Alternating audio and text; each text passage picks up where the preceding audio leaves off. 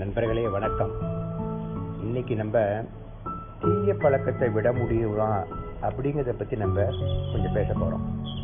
அதாவது இப்ப நிறைய பேர் வந்து சிகரெட்டு இல்லை குடிக்கிறது இல்லை இந்த போதை பாக்கு மாதிரி சில வஸ்துக்கள்லாம் போட்டுக்கிட்டு அதுக்கு அப்படியே அடிமையாயிடுறாங்க. ஒரு வேடிக்கையை கூட ஒரு கதை ஒன்று சொல்லுவாங்க. அதாவது ஒருத்தர் வந்து டாக்டர்கிட்ட போறாரு. போய் அவர்கிட்ட டாக்டர் டாக்டரே நான் வந்து நல்லா நூறு வருஷம் வாழணும்னு ஆசைப்படுறேன் அப்படிங்கிறாரு.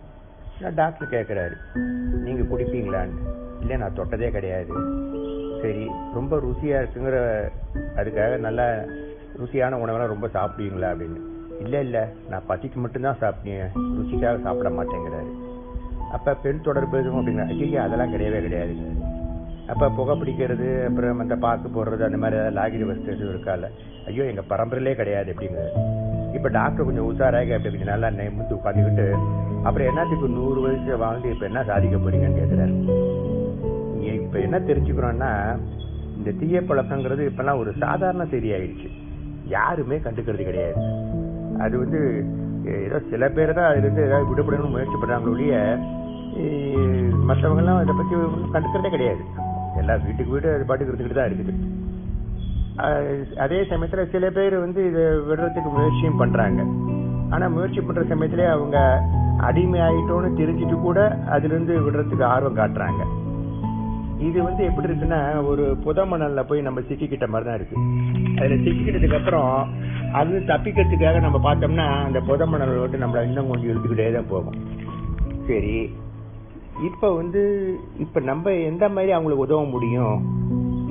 இப்போ நம்ம நிறைய புரிஞ்சுக்கிட்டோம் தெளிஞ்சுக்கிட்டோம் அப்படின்னா நம்மளுடைய இந்த தெளிவு புரிதல் இது மாதிரி ஐட்டம் எல்லாம் அவங்களுக்கு ஏதாவது உதவுதா அப்படின்னு பார்த்தோம்னா நிச்சயமா இந்த புரிதல் மட்டும்தான் அவங்களுக்கு உதவும்.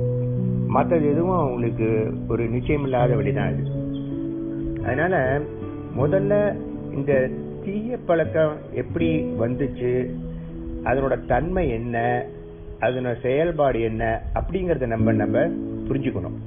ஒவ்வொரு பழக்கமும் ஒவ்வொரு தன்மையோட இருந்தா கூட அடிப்படையில வந்து அதனோட செயல்பாடு அப்படிங்கிறது ஒரே மாதிரி தான் இருக்குது. அதனால நம்ம இப்ப ஏதாச்சும் ஒன்ன பத்தி ஆராய்ச்சி ஆராய்ச்சி பார்த்தோம்னாலே நம்ம அதை கண்டுபிடிச்சிடலாம். இப்ப நம்ம புகைப்பிடிக்கிறத பத்தி கூட நம்ம ஆராய்ச்சி பார்க்கலாம். அதுக்கு முன்னாடி உங்களுக்கு ஒரு சின்ன கதை ஒன்று சொல்றேன் உங்களுக்கு. ரெண்டு ஃப்ரெண்ட்ஸ் வந்து ஆத்தங்கரையில நின்றுக்கிட்டு அந்த ஆத்துல வந்து அப்ப புது வெள்ளம் அப்படியே அடிச்சு ஓடிக்கிட்டு இருக்கு. அப்படியே பொங்கி நுர பொங்க போயிட்டு இருக்கு. அதை வந்து அப்படியே பாக்குறதுல அப்படியே ஆர்வமா பார்த்துக்கிட்டு இருக்காங்க. அதுல அந்த வெள்ளத்துல வந்து பழசும் அப்படியே அடிச்சு போயிட்டு இருக்கு. அப்படியே மறந்துக்கிட்டும் அப்படியே வந்துக்கிட்டு இருக்குது அப்ப தூரத்துல ஏதோ ஒண்ணு ஏதோ க- சுற்றின மாதிரி ஒரு பெரிய மூட்டை ஒண்ணு போகுது. அப்ப ஒரு அந்த ஃப்ரெண்டில் ஒருத்தன் சொல்றான் டே அந்த கம்பி நல்லா விளையாண்ட கம்பெனி மாதிரி இருக்கு. நிச்சயம் அதுக்குள்ள ஏதோ நல்லா விளையாண்ட பொருள் இருக்கும். நம்ம போய் அதை எடுத்து பார்க்கலாம் அப்படின்னு சொல்லி சொல்றான். அவன் சொல்ல சொல்லவே வந்து இன்னொரு நண்பர் வந்து உள்ளார குதிச்சு போய் அதை எடுக்கிறதுக்காக அப்படியே நீந்திட்டு போறான். நீந்திட்டு போனோம்னா அப்படியே கொஞ்ச தூரம் போறான். அப்புறம் என்னன்னா அவனும் அப்படியே ஆத்தோட அடிச்சிட்டு போற மாதிரி போயிடுறான் இந்த முன்னாடி இந்த நண்பனுக்கு வந்து கரையில இருக்கிற நண்பனுக்கு ஒரு மாதிரி பயம் வந்துடுது. ஏ பரவாயில்லடா மூட்டையை எடுக்க முடியாதுன்னு பரவாயில்ல. மூட்டையை விட்டுட்டு நீ பாட்டுக்கு வந்துரு நீனு. அந்த மூட்டை நமக்கு தேவையில்லை அப்படிங்கிறான். மூட்டையை பிடிச்சிட்டு நீ பாட்டுக்கு போகாதன்னு அவன் சொல்றான். அதுக்கு அவன் சொல்றான் மூட்டையை நான் எங்க பிடிச்சேன்? அதுதான் என்ன பிடிச்சிச்சு அப்படின்னு சொல்றான். என்னடா விஷயம்னு பார்த்தோம்னாக்க இவன் மூட்டை நினைச்சிட்டு போனது வந்து ஆக்சுவலா ஒரு கரடி ஒண்ணு. அந்த கரடி ஒண்ணு அடிச்சிட்டு போனது இவன் பிடிச்ச உடனே இவன் கையை பிடிச்சிக்கிச்சு. அவனோட சேர்ந்து அவனை வச்சு தப்பிச்சுக்கலாம்னு சொல்லிட்டு. இப்படிதான். ஒருத்தருக்கு ஒருத்தர் அப்படியே துணையா இருக்கிற மாதிரி உள்ளுக்குள்ளேயே புதையில போக வேண்டியதுதான் அதுல. நாளைக்கு நம்ம இது சம்பந்தம் இன்னும் கொஞ்சம் விரிவா பேசலாம். நன்றி வணக்கம். நண்பர்களே வணக்கம். நம்ம புகைப்பிடிக்கிறத பத்தி நம்ம பேசிட்டு இருந்தோம். அதாவது இப்போ புகைப்பிடிக்கிறது நினச்சிக்கிறாங்க? நம்ம இப்போ புகையை மறைக்கிறதுக்கு இந்த புகையில பார்க்க போட்டுக்கலாம் அப்படின்னு சொல்லி ஆரம்பிச்சு அப்புறம் அதையே போட ஆரம்பிச்சுறாங்க. இப்படி ஏதாவது ஒன்ன மறக்கடிக்க நினச்சி இன்னொன்னு போய் அதையே பண்ணிக்கிறாங்களே. இது இப்போ என்னதான் நடக்குது இங்கே? அப்படின்னு பார்த்தோம்னாக்க இந்த இதுக்கு ஏன் நம்ம தீய பழக்கம்னு சொல்லி ஒரு முத்திரையை குத்துறோம். அப்படிங்கிறத நம்ம பார்க்கணும். இப்போ தீய பழக்கம்னு சொல்லி ஆக்சுவலா எதுவுமே கிடையாது. எல்லாமே ஒரு இன்பமோ அதன் மேல உள்ள ஒரு ஆர்வம் தான் இங்கே நமக்கு ஏற்படுது. இது எப்படி ஒரு கட்டுப்பாட்டையும் ஒரு எல்லையும் மீறி போகுதோ அப்பதான் அது வந்து ஒரு தீய பழக்கம் ஆயிடுது அதனால அடிப்படையில பார்த்தோம்னா எல்லாமே ஒரு விதமான இன்ப உணர்ச்சியினாலதான் நமக்கு இது வருது இன்ப நுகர்ச்சின்னு சொல்லலாம் நம்ம அதை. புரியுதுங்களா? அதனால எல்லா இன்பமுமே நமக்கு வந்து ஒரு சுகத்தையும் ஒரு மாதிரி ஒரு மயக்கமான ஒரு ஓய்வு ஒரு ரிலாக்ஸேஷன் கொடுக்குது இதுல. அதனாலதான் எல்லாரும் போய் அது இது பண்றாங்க. அது ச- ஒரு சலிப்புல இருந்து கூட நமக்கு ஒரு மன இறுக்கத்திலிருந்து ஒரு விடுதலையை உண்டு பண்ணி அதனால நம்ம வாழ்க்கை கொஞ்சம் இனிமையா இருக்கிற மாதிரி ஆயிடுது. ஆனா அதையே முரட்டுத்தனமா அந்த இன்பத்தை கைப்பற்ற நினைக்கிறது அந்த இன்பத்தை தக்க வச்சுக்க நினைக்கிறது. அப்படிங்கிறது வந்து நம்மள அந்த இன்ப நிகழ்ச்சிக்கு அடிமைப்படுத்தி அது தீய பழக்கமா மாறிடுது. இப்ப புகைப்பிடிக்கிறப்ப என்ன ஆகுதுன்னு பார்த்தோம்னா நம்மளோட நரம்பு மண்டலம் தூண்டப்பட்டு ஒரு உற்சாகம் வருது ஒரு இன்பம் வருது. ஆனா அது ரொம்ப நேரத்துக்கு நீடிக்கிறது கிடையாது. சீக்கிரம் மறைஞ்சு போயிடுது. அப்புறம் தான் நம்ம பாக்குறோம் அடடா இப்படி செத்த நேர சுகத்துக்கு போய் இது மாதிரி பண்ணிவிட்டோமே. சரி சரி இனிமேல் கொண்டு நம்ம சிகரெட் பிடிக்காம இருக்கணும்னு சொல்லிட்டு ஒரு நம்மளா ஒரு முடிவுக்கு வரோம். இந்த முடிவு ஆனா ஒரு ரெண்டு நாளைக்கு நமக்கு பண்ண முடியுது கட்டுப்படா இருக்கும். ஆனா மூணாவது நாள் வந்து யாராவது ஒருத்தர் புகைச்சிட பார்த்தோம்னாக்க உடனே நமக்கு அதை பத்தின சிந்தனை வந்துருது.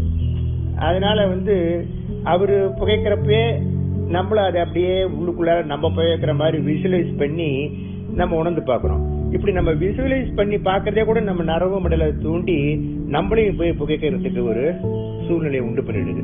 உடனே நம்ம என்ன பண்ணிடுறோம்? நம்ம முடிவை நம்மளே மாத்திக்கிட்டு சரி சரி பரவாயில்ல. இன்னைக்கு ஒரே ஒரு நாள் மட்டும் சிகரெட் பிடிச்சோம்னா ஒன்றும் கெட்டு போயிடாது.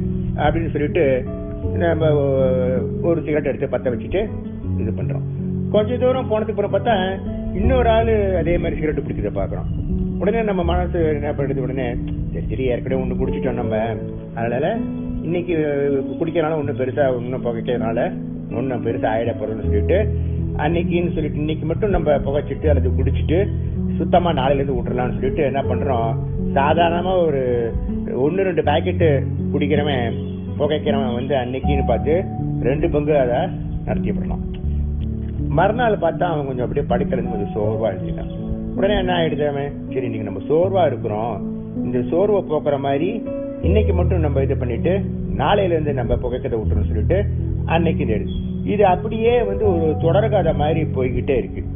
சரி இப்படி வந்து நம்ம நம்ம முயற்சி எல்லாம் பண்ணிக்கிட்டே இருக்கோம். ஆனா இந்த முயற்சி வந்து எந்த வெற்றியும் நமக்கு தராம இருக்குது. இது எதனால இப்படி இருக்குது? நம்ம முயற்சி பண்ணாலும் நம்மளால வெற்றி அடைய முடிய மாட்டேங்குது. இதுக்கெல்லாம் காரணம் வந்து அடிப்படையில் அடிப்படையில இன்ப நுகர்ச்சி தான். தீய பழக்கத்துக்கு காரணமா இருந்த இன்ப நிகழ்ச்சி தான் அதை விடுபடுறதுக்கு காரணமோ அப்படின்னு நம்ம சொல்றோம். அது எப்படின்னு சொல்லி பார்த்தோம்னா தீய பழக்கத்தை வெற்றி கொண்டாலும் நமக்கு ஒரு மகிழ்ச்சி ஏற்படுது. புரியுதுங்களா?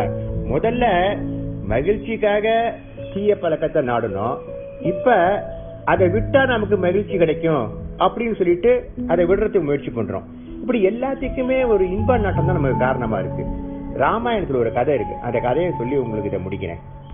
அதாவது வாலியை எழுத்து யாருமே சண்டை போட முடியாதான். ஏன்னா வாலியை யார் எதிர்த்தாலும் அவங்களோட பலத்துல பாதி வாலிக்கு வந்துடணும்னு சொல்லிட்டு ஒரு வாரம் வாங்கி வச்சிருக்காங்க வாலி. அந்த மாதிரி தீய பழக்கத்தை நம்ம எதிர்த்து என்னதான் போராடினாலும் அது வாலியை எழுத்து போராடுற மாதிரி தானா? ஏன்னா அதனால தீய பழக்கம் தான் அதுக்கு உள்ள பலத்தை பெற்றுக்குது.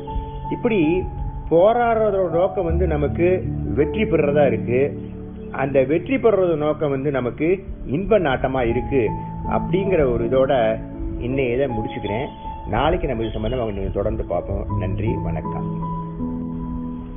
நண்பர்களே வணக்கம். அதாவது தீய பழக்கத்தை எழுத்து போராடுறது நம்ம வாளியை ஏற்றி போராடுற மாதிரி நம்ம பார்த்தோம். அதாவது அப்போ போராடி வெற்றி பெற முடியாதுன்னா இப்போ நம்ம என்னதான் செய்யறது? நம்மளோட எதிர்பார்ப்பு தான் போராட்டத்தெல்லாம் தூண்டுது. எதிர்பார்ப்பு இல்லாமல் இருக்கிறது வரைக்கும் எதிர்பார் அதாவது எதிர்பார்ப்பு இருக்கிறது வரைக்கும் நம்மள நாம ஏமாத்திக்கிட்டு இருக்கிற மாதிரி தான் அது ஆயிடுது நம்ம வெற்றியை வந்து ஏதோ போராட்டம் பண்ணி ஒரு வெற்றி வாகையோட நம்ம வீட்டு முன் வாசல்ல போய் பார்க்குறோம். ஆனா உண்மையான வெற்றி அப்படிங்கிறது எப்பவுமே நம்ம போராட்டத்தையும் முயற்சியும் கைவிட்ட நேரத்துல அந்த வெற்றி வந்து நம்மளையும் அறியாம நம்ம வீட்டு பின்வாசல் வழியா நமக்கு வந்துருது. ஏன்னா தோல்வி மட்டும்தான் எப்பவும் நம்மளுக்கு தெரியற மாதிரி முன்வாசல் வழியா வருது.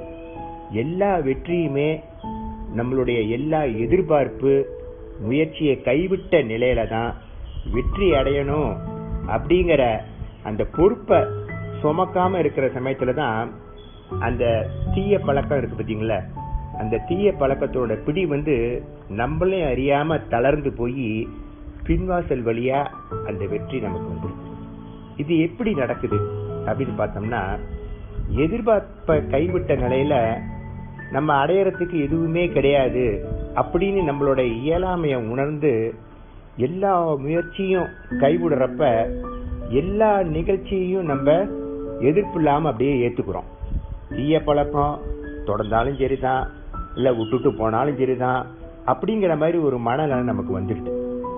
ரெண்டையுமே நம்ம சமமாக பார்க்குறப்ப உண்மையிலேயே நம்ம என்ன பண்ணுறோன்னா உண்மையிலேயே நம்ம அந்த இன்ப நாட்டத்தையே புறக்கணிச்சிடுறோம்.